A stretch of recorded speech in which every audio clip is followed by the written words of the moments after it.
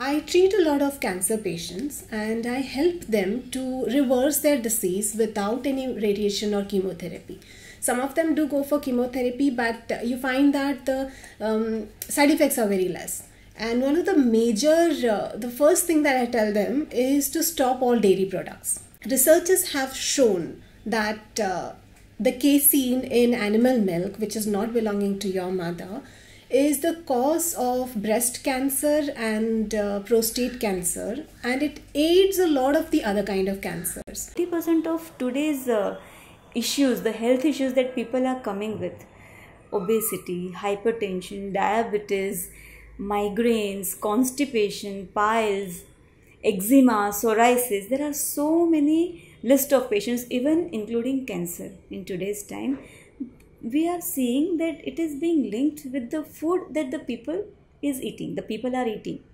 And when the food is being worked along with them along with their treatment and when i say food i refer to whole plant food that is being taken care of.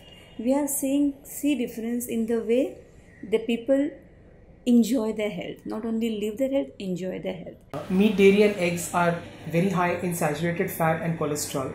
And are hence uh, implicated in pathogenesis of uh, heart disease type 2 diabetes stroke and other vascular conditions.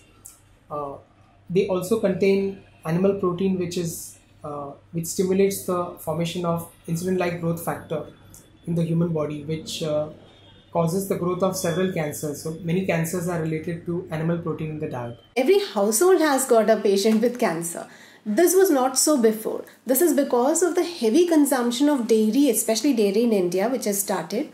And even the traditional vegetarian uh, families, they have started including eggs in their diet because they feel that it is good for their children. But this is counterproductive because finally they are creating children who are. Uh, uh, who have a very bo- weak body structure. The fact is that we are a protein obsessed uh, country uh, or even the world.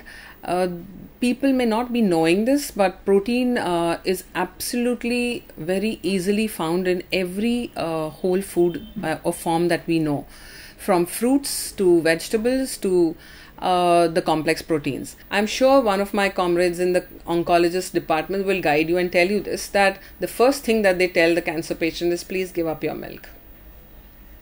So it is sad that we re- realize and learn this a little later in life. I wish we all knew this before we developed any diseases. So prevention is way better than treating anything. We all know that.